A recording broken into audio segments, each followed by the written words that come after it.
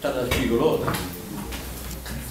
Ma ce l'aspettavamo per il campo, per, per l'avversario, comunque è un avversario di, di qualità, eh, sapevamo che era una partita comunque difficile, eh, su un campo difficile ed è stato così. Però il mister dice che entrante mi ha dato complimenti per l'impegno, cioè ho visto una, squadra, una prestazione molto molto diversa da quella di Roma.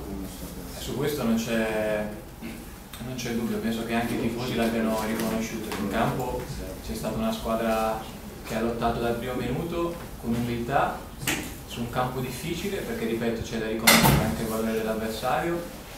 È un punto guadagnato perché le prestazioni così eh, portano lontano. Dopo il pareggio di Roma sinceramente invece era, il clima era diverso e doveva essere diverso perché la prestazione era stata sottotono, invece oggi la squadra ha dimostrato che è viva, che, che voleva a tutti i costi il risultato, che probabilmente meritava anche la vittoria perché anche se è stata una partita equilibrata penso che le palle gol che abbiamo avuto noi siano state maggiori rispetto a quelle della Giara.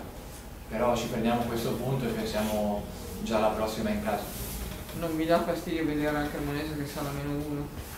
Ma sappiamo che dietro abbiamo una signora squadra e ogni mezzo passo falso nostro eh, loro possono guadagnare terreno. Eh, stanno facendo un grandissimo campionato anche loro. Probabilmente ora finora si è parlato meno della Cremonese perché eh, le avevamo vinte tutte, ma noi siamo i primi a sapere che eh, insomma, eh, ci sarà da lottare fino all'ultimo minuto dell'ultima giornata.